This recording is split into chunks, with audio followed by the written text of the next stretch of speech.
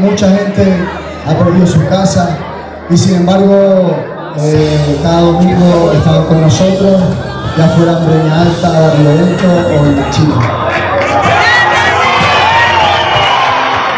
Eh, recuerdo que al principio ministro dijo, este año tenemos que hacer cosas excepcionales para, para tener esta oportunidad. Creo que todos nosotros, incluyendo ustedes, han hecho cosas excepcionales eh, han ayudado en incendio, en el volcán, de muchas maneras.